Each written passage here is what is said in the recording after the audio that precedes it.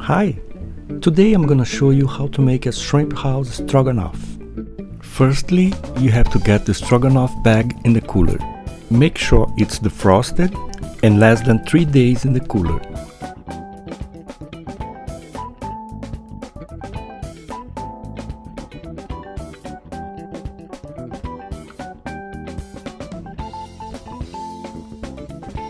And then you have to squeeze it to make sure there's no holes.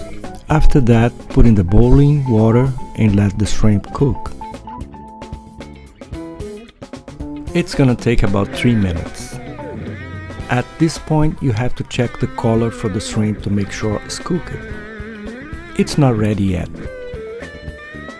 When you see the shrimp color change to pink, it's ready to go. It's time to make the plate.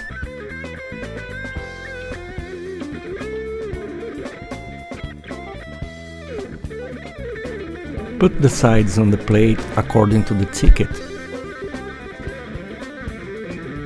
And then cut the bag and put the shrimp house stroganoff on the plate.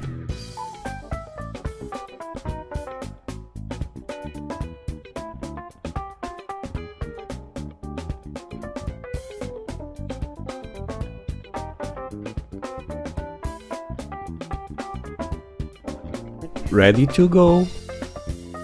Enjoy it. Thank you.